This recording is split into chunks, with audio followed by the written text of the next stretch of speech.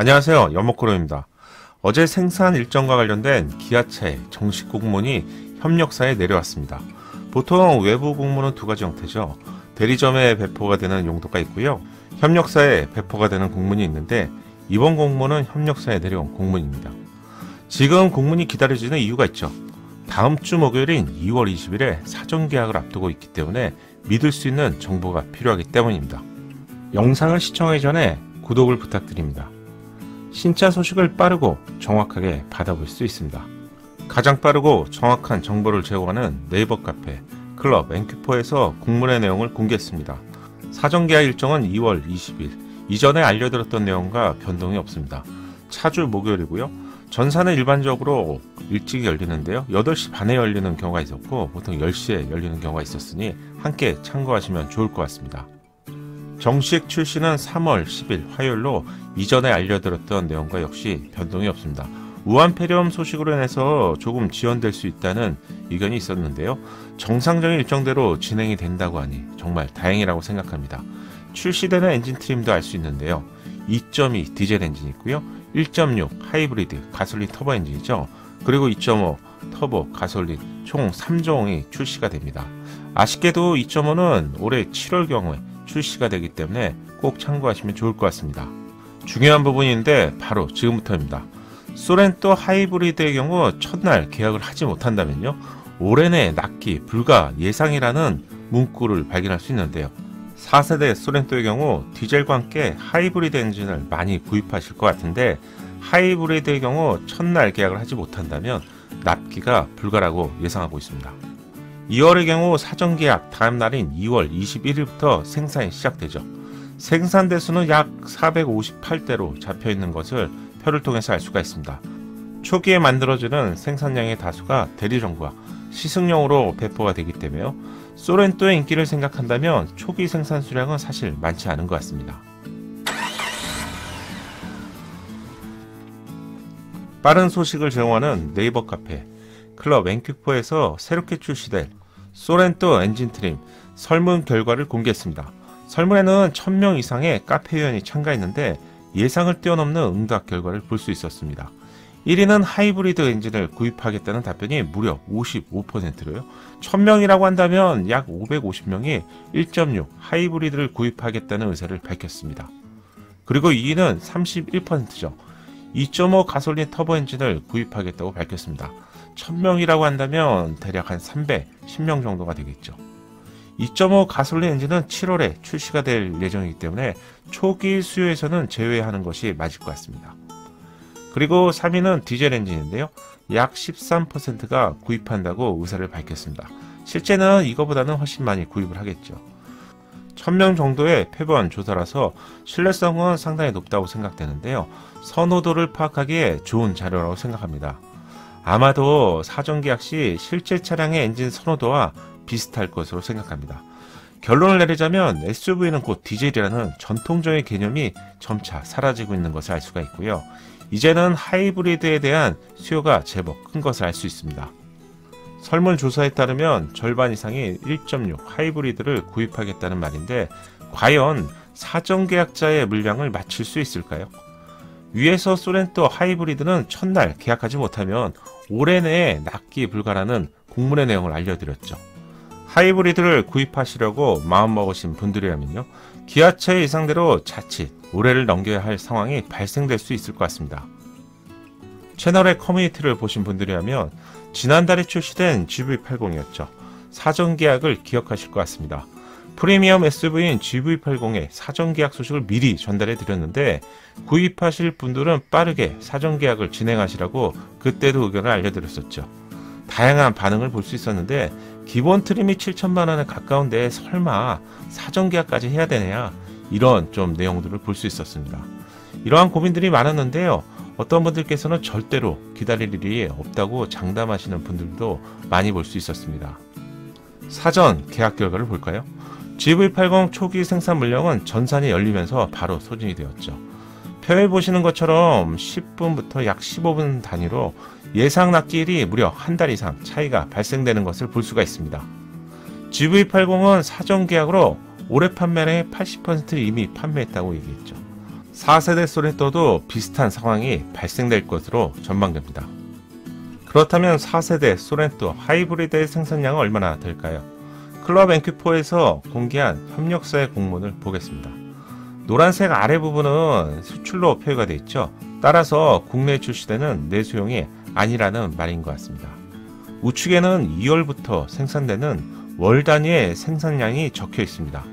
수출형 차량은 4월부터 생산되기 시작하는 것 같습니다. 노란색 부분이 국내 내수 차량이라서 집중적으로 살펴보겠습니다.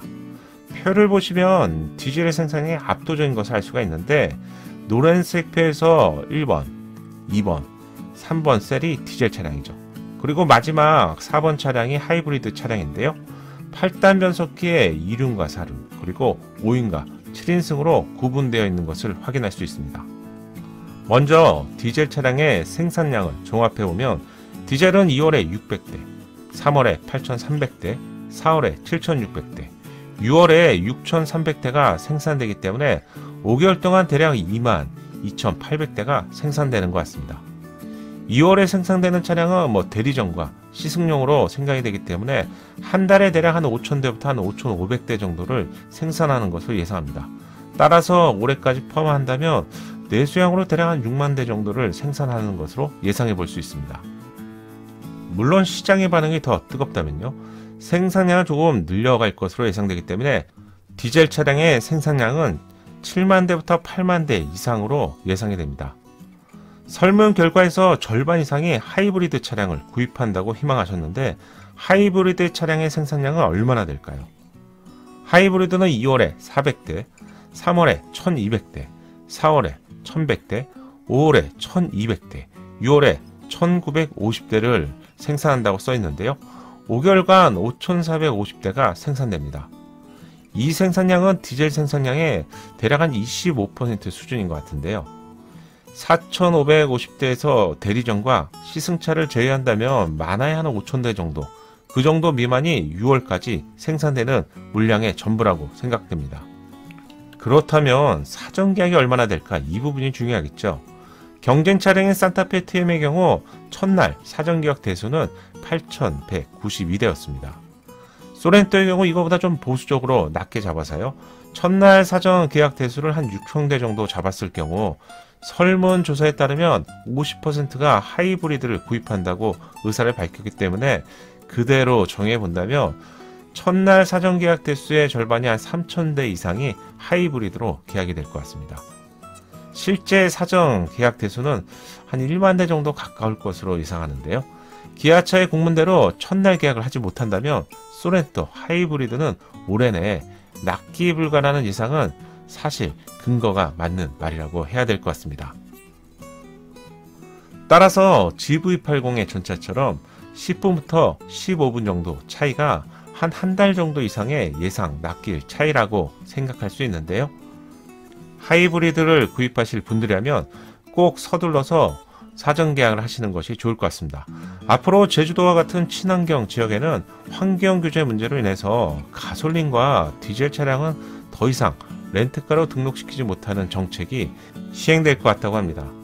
렌트카와 리스 업체들도 친환경 차량인 하이브리드와 전기차를 구입할 것으로 예상되기 때문에 이 부분도 어떻게 보면 서둘러야 되는 이유죠. 결론적으로 요약하자면 1.6 하이브리드 차량을 구입하시는 분들이라면요.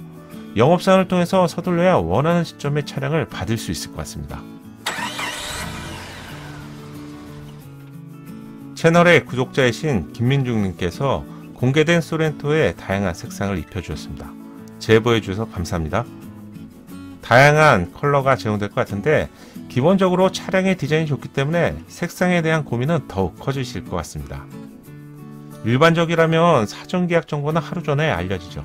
이때 색상이나 세부적인 스펙까지도 알려지는데요. 영상을 통해서 관련 소식을 빠르게 알려드리겠습니다. 쏘렌토가 출시되고 2개월 뒤에는 싼타페 facelift도 출시가 되죠. 이때 하이브리드 역시 출시가 되는데 상황은 비슷할 것으로 전망합니다. 따라서 하이브리드 차량을 구입하실 분들이라면 함께 참고하시면 좋을 것 같습니다. 마지막으로 공개 일정을 보겠습니다. 공개 일정을 보시면 다음 주에 사전 계약 전이죠. 17일 월요일에 세부 스펙이 공개될 것 같습니다. powertrain을 포함한 세부적인 소식이 이때 알려질 것 같습니다. 이후 2월 20일에 사전 계약이 시작되죠. 사전 계약 이후에는 제네바 모터쇼를 통해서 3월 4일에 글로벌에도 완전히 공개가 될 것 같습니다. 3월 10일에는 공개 발표와 함께 다양한 시승기를 볼 수 있을 것 같은데 연못구름도 이때 참가해서 소식을 빠르게 알려드리겠습니다. 혹시 궁금한 부분이 있다면요. 이때 커뮤니티나 댓글 등으로 남겨주시면 연목그룹이 알려드리겠습니다. GV80의 사전 계약도 조금 늦췄다가 주변에서 후회하시는 분들이 있는데요. 이런 이유 때문에 소렌토의 소식을 영상으로 긴급하게 제작하게 되었습니다. 한편으로는 지금이 불경기라고 하는데 차량이 없어서 구입하지 못하는 지금의 현실이 아이러니한 것 같습니다. 오늘 하루도 화이팅 하십시오. 연목그룹의 신차 정보가 작은 도움이 되셨나요? 국내에서 신차 소식을 빠르고 정확하게 듣고 싶다면요. 구독을 부탁드립니다. 공간과 알림 설정까지 하시면요. 편하게 받아보실 수 있죠. 감사합니다.